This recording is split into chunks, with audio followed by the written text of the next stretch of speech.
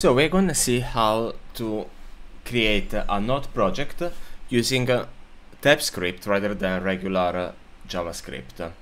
So for uh, this tutorial what I'm uh, planning to use are those packages. So first of all I'm going to use I'm on a Mac so I'm going to use um, Homebrew and I suggest you to install because you can use it to install Node.js plus a number of different packages the second thing I want to uh, introduce you to is uh, NVM, which stands for Node Version Manager, and can be installed if you go on the website, which I'm going to link in the description below.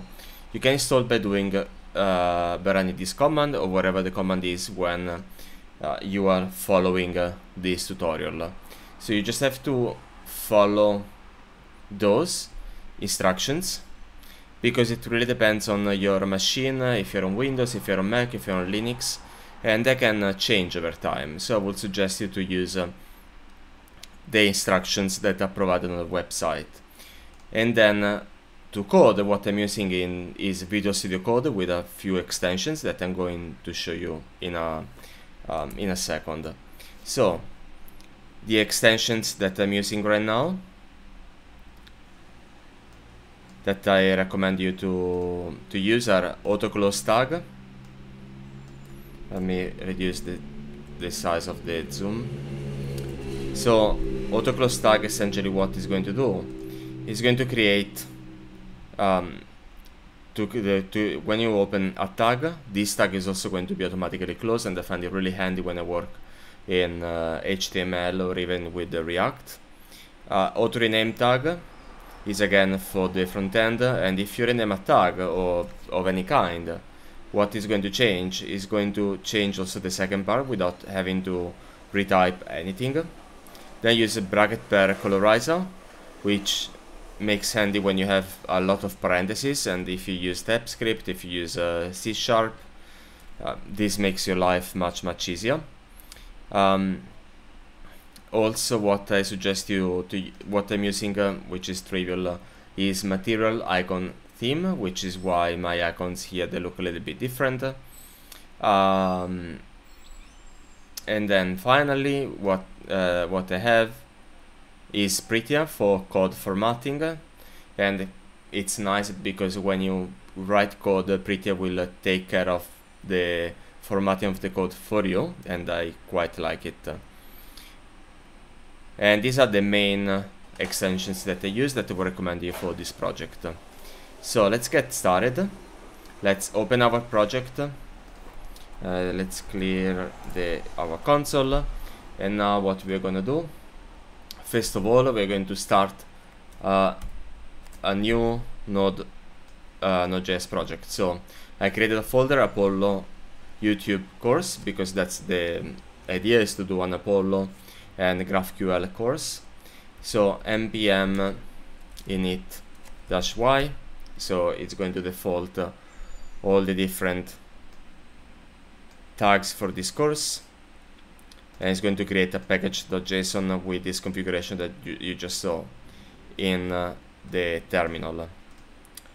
Okay, let's clear our console and now we're gonna add uh, npm install um, TypeScript. And along with it uh, now along with it we're going to install the types npm install types node. And this is a development dependency. And in here you can see we have our package.json which has the node dependency type as a dev dependency and TypeScript as a main dependency version 4.1.5 which is the latest one. Um, and now the next thing we need to do for uh, TypeScript to work uh, we're going to use uh, a pack, uh, tool called npx and uh, this is comes with uh, Node.js which I will recommend you um, with the Node version manager. By the way I didn't show you uh, some commands that you can uh, run. Nvm list. And you can do nvm use 15 which is the latest one. So this is going to change but if I wanted to I could use for example version 12 or version 14 depending on what um, your specific project requires if you need uh, extra help to set this up maybe leave a comment below and, and I might do another video where I show you what is going to happen the next uh, bit is to create uh, a config file for TypeScript, which is called uh, tsconfig.json file, where all the options for TypeScript are going to be inserted. So the command is npx tsc dash dash init, which is going to, you can leave it just init, it's going to create the tsconfig.json file. But here I'm adding a few options that are required and useful for our project. So, uh, root directory is gonna be src, output dir is gonna be build, resolve JSON module um, is an option that allows us to resolve, to import inside our file JSON files, and this can be useful, uh, for example, if you have configurations, it's useful in case we use uh, dummy data files, which we might do during the project, I'm not sure yet. Uh, library is uh, ES6, what we're going to use. Uh, the module system is CommonJS. We are not going to allow JavaScript files in the project. We want everything to be in TypeScript. And uh, this is a brand new project, so there is no need for, uh, for us to allow JavaScript. No implicit any is going to be true. It means uh, any variable that we define must be with a, with a type. We cannot leave a variable without any typing. If we want to do that, for any reason, we need to explicitly set the variable to the type any. Target of the library, the output is going to be ESNext, and we can do this because we are not 615. And then the last option, ES module interop, is set to false because we don't want to use older type of ES module systems. So we press enter.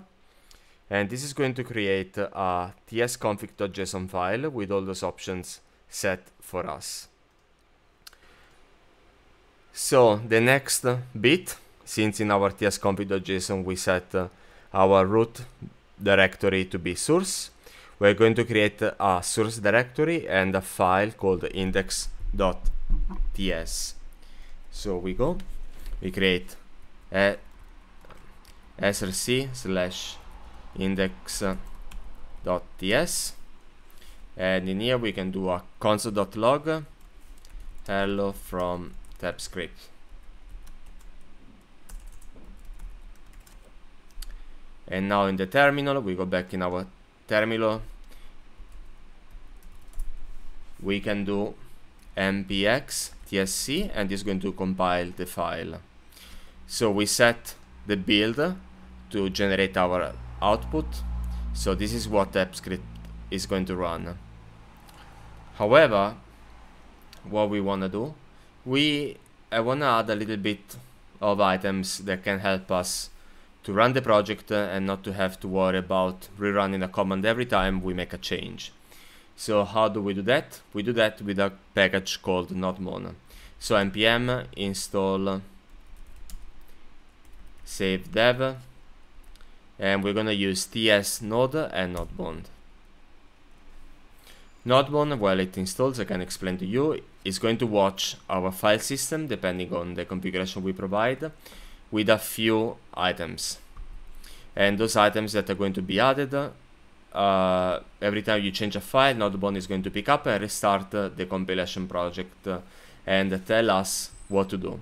So what uh, is expecting is expecting a file called uh, which we need to have in our root directory called node mon.json and inside it we're going to put a watch variable which is going to say src which is our module directory we can define which extensions to use so in with this case is dot ts or for example, you can add the .js as well if you if you wish in uh, your project. I'm gonna add it as an example. Ignore is going to be empty. We want everything to be compiled. Anything that changes, we want to fire uh, recompile.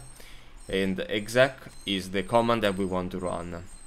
ts node, which is a node TypeScript node, and every time this happens, src slash index dot js TS node is just for um, development uh, uh, purposes.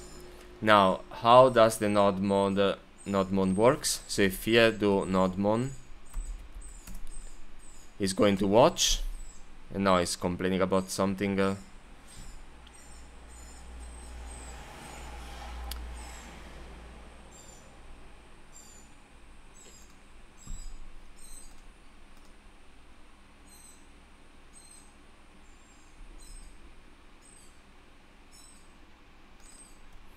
oh well this is of course doesn't exist because it's not ts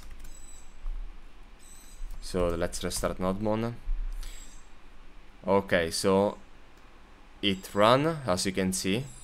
Now if I make a change in here and I save automatically this is picked up.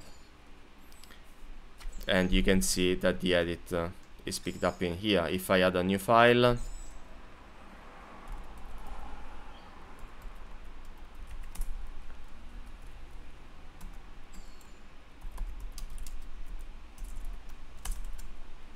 as you can see this one is not going to be uh, seen because I will need to import it of course. However as I edit the file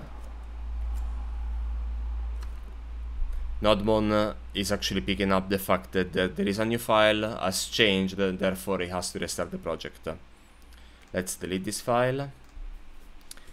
And now in our package.json we're going to add uh, line in order to make it uh, a little bit nicer.